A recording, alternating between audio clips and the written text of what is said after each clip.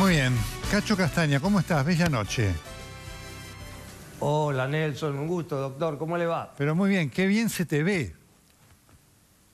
Bien, muchas gracias, muchas gracias. ¿Te estás cuidando? Estamos bien, estamos bien. Los... Y los negros tenemos indios aparte. bueno, qué felicidad nos da eh, verte, escucharte, saber que estás activo. Y Gracias. para muchos fue una sorpresa esto que dijiste. Te pegó fuerte la corrupción, ¿no? No, lo que pasó es que, bueno, yo tengo derecho a, opinar. De repente estamos en democracia. No es mi fuerte la política, jamás descendería a un nivel del que estoy yo de poeta a mezclarme con la política. La política es un bardo total y la música no. Eh, sin duda, pero de todas maneras te golpeó esto que dijiste, bueno, se robaron los eh, 100 mil millones de dólares. Te tocó. Bueno, lo que pasa es que, que es lo que estamos escuchando, el periodismo forma opinión. Y si el periodismo forma opinión, yo tengo una opinión formada por el periodismo. Lo que el periodismo me muestra es toda la guita que se ha robado. Entonces, bueno, me formó la opinión de que la guita que se robaron es eso. Eh, Yo hablo más que nada, no de la guita que se robaron, sino de los jueces. Hablo de la, de la ley, como Sí, está claro. la ley acá en este país. Qué tema, ¿no? O De sea, lo- los jueces no, no, no emiten. Ese es el problema. Eh, cuando yo digo alguien roba muy, mucho y sigue caminando, y alguien que roba una manzana va preso. Tampoco dije una, una locura. No es para la Tercera Guerra Mundial. Pero pegó fuerte, dicho Lo que por pasa vos. es que a algunos le pega mal. Ah. Claro, le ha pegado mal a algunos que me han tratado de intratable y todo eso. Son patoteros de balneario, ¿vio? Eh, eh, qué, qué impactante. ¿Te impactó que hubiera esa reacción, Cacho? Sí, me llamó la atención porque realmente yo nunca me meto en política. No me metí nunca ni me meteré porque no me interesa, no me gusta. Yo vengo de la época, yo a los 13 años iba a Plaza de Mayo a cantar la marcha peronista. Mirá.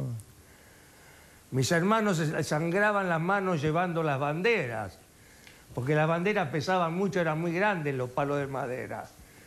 Entonces todos estos giles que hablan no habían nacido cuando yo ya cantaba la marcha peronista. Qué anécdota. Después de eso vinieron los sabemos quiénes vino, después vino, vino Alfonsín, después vino Menem, cada uno lo voté, a cada uno de esos lo voté. ¿eh? Y seguimos votando porque la- el periodismo nos forma. Y seguimos entrando como tontos y seguimos votando. Eh, Ahora, la verdad, estoy cansado, doctor. Me hartó ya, me hartó todo esto. eh, bueno, es la Estoy muy lucha. cansado de, de- de la- del K, del no K, de la grieta, de la Mm. no grieta. Me parece ridículo que hayamos caído en ese pozo social tan feo, ¿no? Qué triste, ¿no? Es muy triste realmente. Es muy triste. La Argentina es como que te regalan un Mercedes-Benz y lo chocas por todos lados. Este país es un país tan rico y lo han chocado por todos lados.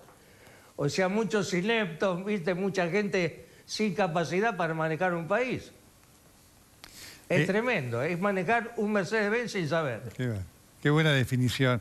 ¿Te pasa a vos esto de lo que llama la grieta, de encontrarte con gente, a lo mejor amigos, familiares, con los cuales hoy la política genera una distancia que antes no existía? No, yo tengo amigos que son K furiosos. Que, mirá, caso eh, que lo- todo el mundo conoce, Adriana Varela, Coco Silly, pero son hermanos de mi vida. Y son K, y yo no soy ni K, ni pro, ni nada. Yo soy argentino, soy un cantautor, hago canciones, hace 50 años que canto, que vivo de mi profesión, no me meto con nadie, no creo ser impresentable, como dicen algunos y nadie me hace callar.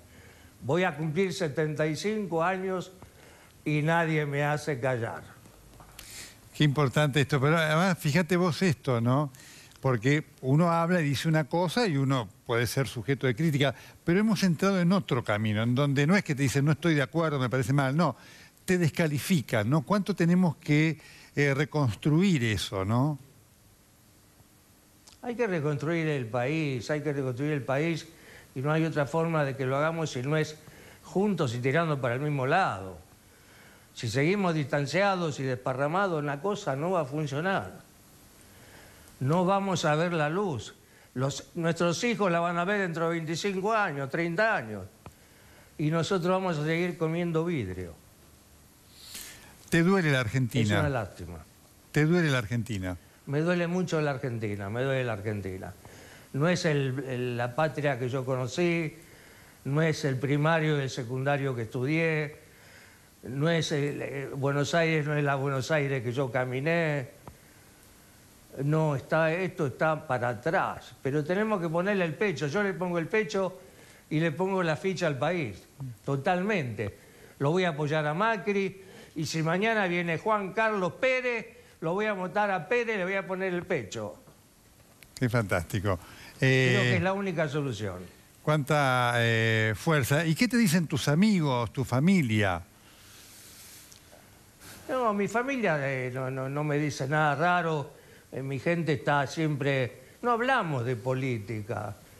La verdad que no hablamos de política. Acá en mi casa todos los fines de semana se hacen asados, vienen los buenos muchachos, Coco Sili, viene Guillote la Bambino Veira, nos reunimos con el Negro Oro, venimos todos acá, cantamos con la guitarra, comemos asado. No hablamos de política.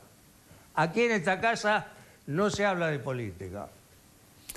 Cacho, ha sido un gusto tenerte... Se hablan de minas, de minas hablamos. es muy bueno. Cacho, ha sido un gusto tenerte y sobre todo escucharte. Cuídate mucho. Muchas gracias. Muchas gracias, doctor. Que siga bien. Gracias. Un gusto grande. ¿eh? eh cuídate. Muy amable. Cacho Castaña, ¿eh? genio y figura impactante, ¿sí?